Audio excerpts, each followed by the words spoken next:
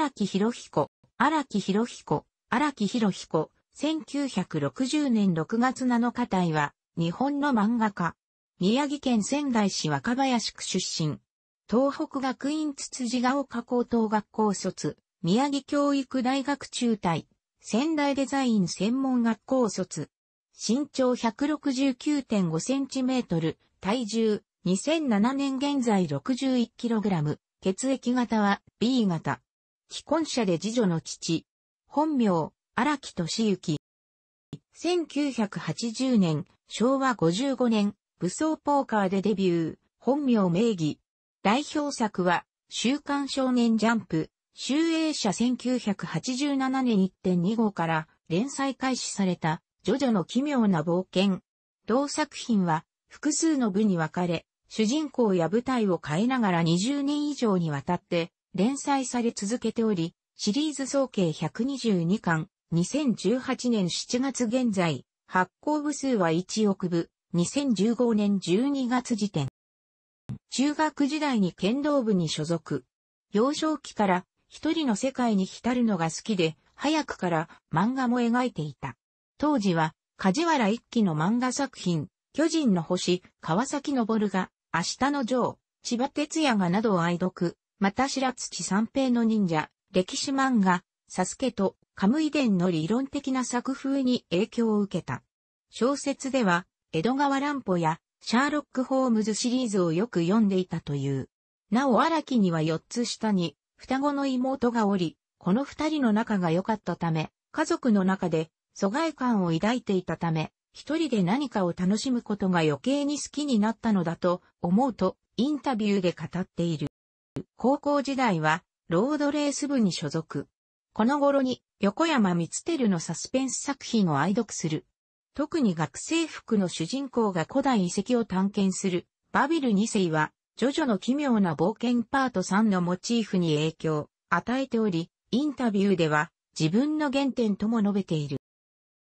16歳の時に同い年のゆで卵が週刊少年ジャンプでデビューしたことに焦りを感じ、高校3年の時に初投稿、以後何度か投稿を重ね、専門学校在学中の1980年、昭和55年に武装、ポーカで第20回手塚賞に準入選しデビュー。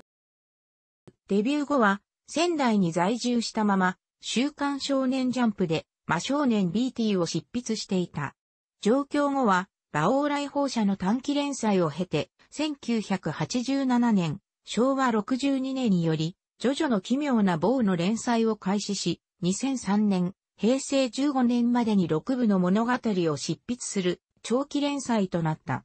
2004年、平成16年に同誌にて、ジョジョのパート7にあたるスティールボールランの連載を開けし、連載途中の2005年、平成17年により、月刊誌、ウルトラジャンプに移籍。ジョジョシリーズは2010年、平成22年には通算100巻を達成し、達成後の2011年、平成22年にスティールボールランを完結させた後、すぐさま、ジョジョのパート8である、ジョジョリオンの連載を開始し、現在に至る。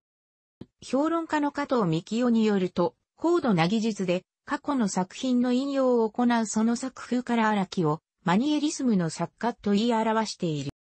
一方で、連載開始時から人間参加をメインテーマとして掲げる、ジョジョの奇妙な冒険は、ある意味で少年漫画の王道と評されており、荒木自身、昔からある少年漫画の伝統を受け継いでいつもりと話している。しかし、荒木は子供向けに描いたつもりはないとも発言している。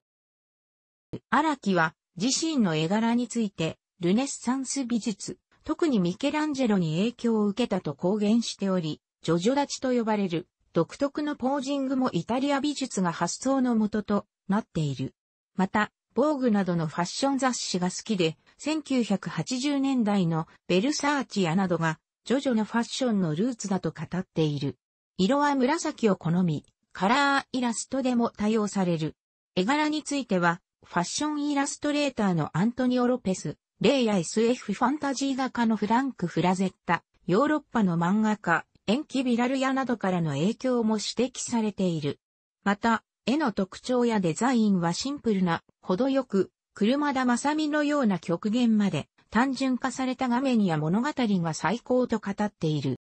荒木の作品では、非対称な変形コマを多用し、ページ全体が歪んで、見えるような小回りがしばしば行われる。斜めになったコマはそれほど珍しいものではないが、1ページの小回り全体が斜めになっているのは他にあまり例がない。この変形ゴマは、ジョジョパート3後半より使われるようになり、次第に頻度が増え、それに従いコマ外の余白が増えていったが、パート7、スティールボールランでは、全ページが立ち切り、ページの端いっぱいまで絵を入れることで描かれるようになったため余白が激減し、この立ち切りの使用については、パート7の舞台である西部アメリカの広大さを意識して取られた方法ではないかと指摘されている。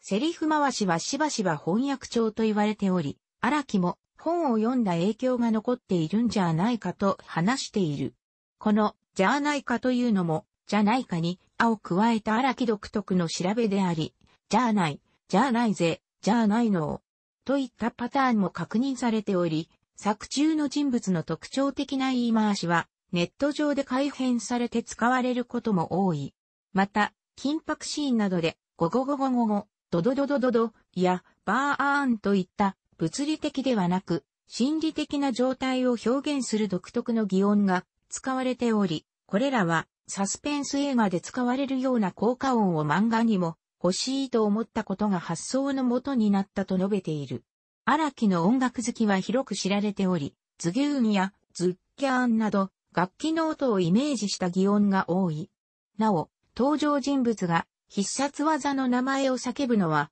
車田正美の影響である。荒木は漫画を描く上で最も重要な要素をキャラクター作りと捉えており、設定の際には履歴や家族構成、所属組織のほか、趣味や癖、心情など60近い項目が存在する、キャラクター心情調査書を用いてそのキャラクターのバックボーンを作り上げる方式をとっている。また、悪役は前向きな性格にすると決めており、そうしないとストーリーが破綻しちゃうんでと語っている。ジョジョの奇妙な冒険には、登場人物に腰の極端なひねりや回転、奇妙な手足の動きなどを加えた独特のポージングが品質する。これらのポーズは、荒木が20代の時に、北斗の剣、リングにかけろ、キャプテン翼などの強い個性を持つ、当時のジャンプ連載人の中で、自分の独創性を模索していた頃、イタリアの彫刻芸術からヒントを得て作り上げられたものだという。エゴン・シーレやグスタフ・クリムトなどの敬愛する画家が描いた人物そのままのポーズや顔を描くことも少なくない。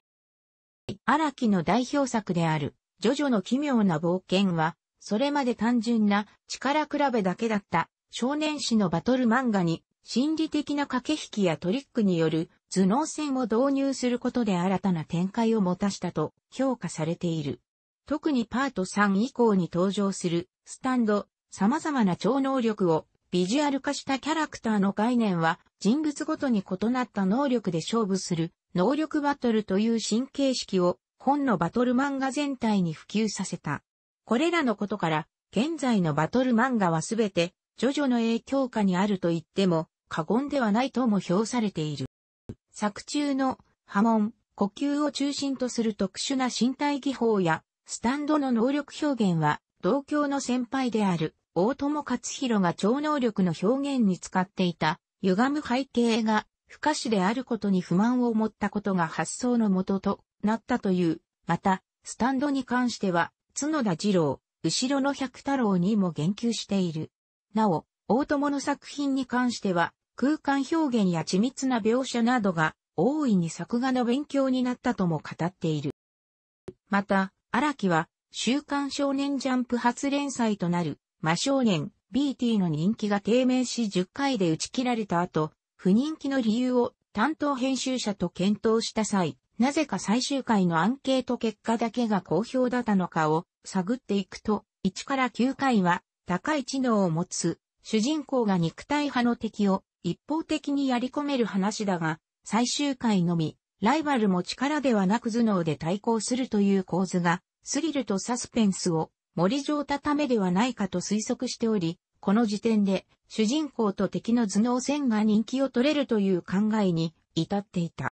荒木は基本的に徹夜をせず、毎朝10時に起床する生活をしており、日曜日はネーム、月から木まで咲くが、金、土は休養、取材というサイクルの執筆を10年以上続けている。ただし漫画家を始めた初は、若さゆえ他の漫画家に闘争心を燃やすあまり、徹夜することも多かった。結局最後は、自分との戦いになるとの理由で考えを変えたという。荒木のこのような規則正しい生活は、週刊少年ジャンプで、こちら、葛飾区亀有公園前派出所長寿連載していた秋元治を見習ってのことで、締め切りも今まで破ったことがないという。2012年時点でも荒木は手書きにこだわっており、机の上にはパソコンやモニタなどは置いていないが、画材には強いこだわりはなく、ペンテルの筆ペンとゼブラの G ペン、シャープペンシル、下書き用に青鉛筆、キャラクターを描く際のあたりを描くことに用いる。があれば十分だという。またペン入れには、解明書液を使っているほか、30年前に父親が制作した卓上製図版を現在でも使い続けている。下書き前には青鉛筆をカッターナイフで削ることから始める。これは漫画家デビューの時から行っている行為らしく、儀式のようなものであると語る。この行為から執筆作業への気持ちが入っていく面もあるという。仕事の開始前には自分で豆をひいてコーヒーを入れるのが習慣だという。単行本の著者金営は十数年間ほとんど変わらず、若々しさを保っており、ユリーカで10年越しにインタビューを行った斎藤玉木は荒木について、当時と比べて全くお変わりないですね。むしろ若返ったくらいで驚くばかりです。さすが波紋の使い手というか、と作品にちなんで驚きを表すも、それに対して、荒木は着実に老化しており、週刊連載が量的にきつくなったから月刊に移ったと語っている。体力維持のため50歳を過ぎてもジムでのトレーニングや水泳を欠かさず、ご飯は一目惚れを食べる。